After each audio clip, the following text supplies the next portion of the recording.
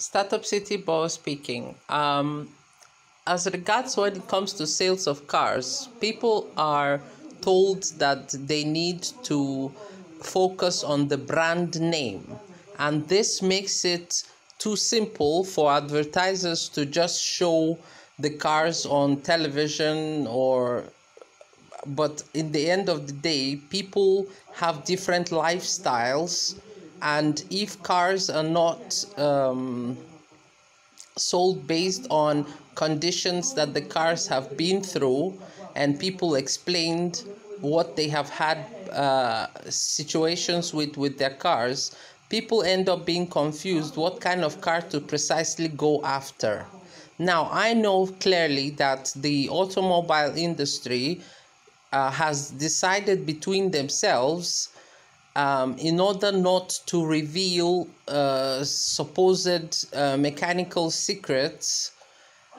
uh, not to talk about situations, but in the end, that has resulted into uh, people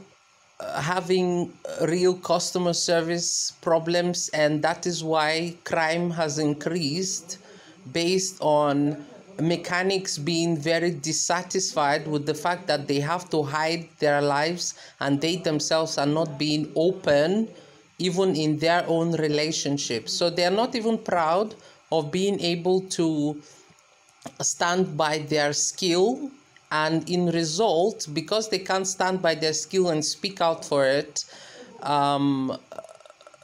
their careers aren't advancing and they are not able to show their skill why I like the show called Pimp My Ride is that it shows how old cars are being transformed and